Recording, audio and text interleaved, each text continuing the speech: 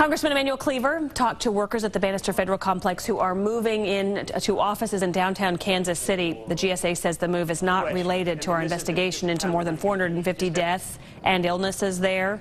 Today, Congressman Emanuel Cleaver said if there is evidence workers are in danger, he will take action. There is no downside to me uh, saying that uh, the federal government, including the EPA, is hiding uh, uh, evidence that people are being harmed.